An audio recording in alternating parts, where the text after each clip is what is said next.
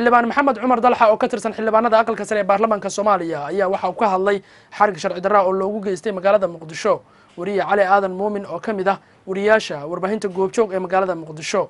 Xildhibaanku waxau ku baaqay uguna baaqay hay'adaha ammaanka ee soomaaliya iyo kuwa garsoorkaba in xorriyaddiisa dib loogu celiyo suxufigaasi. Wariyahayaga cabdishiid sandheere ayaa warkaasi mar kale nooga soo diray magaalada muqdisho xildhibaan maxamed cumar dalxa oo ka mid a mudanayaasha baarlamaanka federaalk soomaaliya ayaa wareysi gaara uu siiyey telefishinka s b c. Ayaa waxa uu kaga hadlay xeragga weriye cali aadan muumin oo ka tirsan idaacadda iraadiyaha goobjoog ee magaalada muqdisho. Xildhibaanka ayaa waxa uu sheegay xeragga weriyaha in aanan loo marin waddo sax ah wuxuuna dowladda soomaaliya ka codsaday in xorriyaddiisa dib loo siiyo. Weriye cali aadan muumin oo ka tirsan weriyayaasha caanka ah ee idaacadda iyo t v-ga goobjoog marka idaacaddaasna isagana keley waxa uu tabiyey wax ka duwan ma aysan ahayn sida wararka ay tibaaxayaan.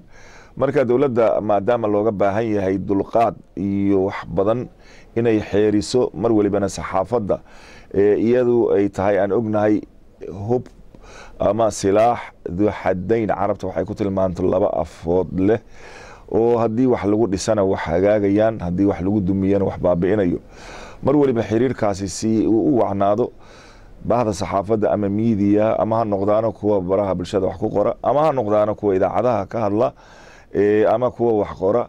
Waxaan aada iyo aada ugu boorinaynaa xukuumaddu inay siiso soo dhoweyn oo xoriyadda ee qowlka ee iyadana ku qotonta etexka ee aan dhaafsiisanayn.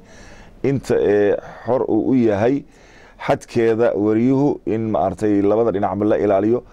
Dhanka kale xildhibaan maxamed cumar dalxa oo ka mid a mudanayaasha baarlamaanka federaalk soomaaliya ayaa waxa uu sheegay in ay habboon tahay in la dhowro xoriyatulqoolka qofka suxufigana waxa uu tuhmo oo xaq u leeyahay inuu wax ka qoro.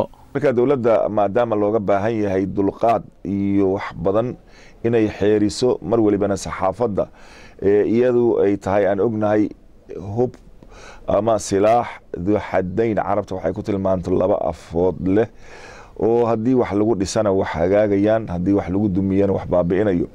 Mar waliba xiriirkaasi si u wacnaado bahda saxaafadda ama miidiya ama ha noqdaano kuwa baraha bulshada wax ku qora ama ha noqdaano kuwa idaacadaha ka hadla ama kuwa wax qora. Waxaan aada iyo aada ugu boorinaynaa xukuumaddu inay siiso soo dhoweyn oo xoriyadda ee qowlka ee iyadana ku qotonta etexka ee aan dhaafsiisanayn.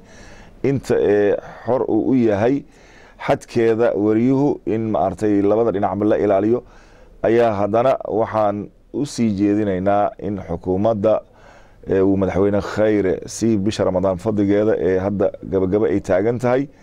Inta ee la mid